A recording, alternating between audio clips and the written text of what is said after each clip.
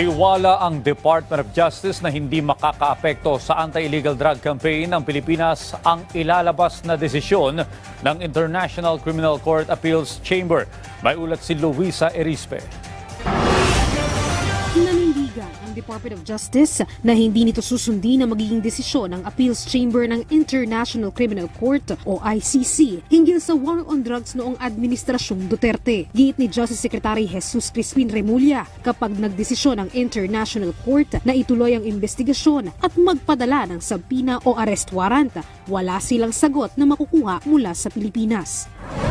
Sila welcome sa Pilipinas. Pagka pakikialam lang ang gagawin nila, ay hindi po tayo papayag sapagkat ah, may sarili po tayong sistema ng batas, may sarili tayong tradisyon, may sarili tayong kapulisan, Ayon pa kay Remulla, malinaw na nahaluan na ng politika ang issue kaya walang karapatan ng ICC na makialam sa justice system ng Pilipinas.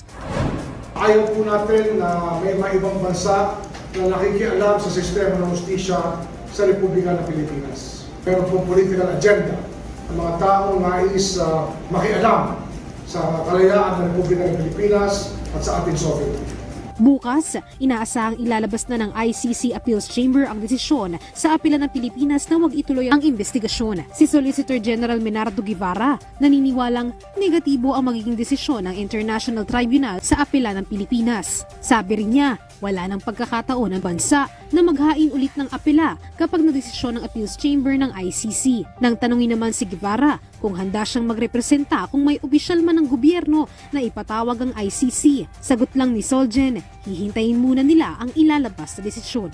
Luisa Erispe para sa Bayan.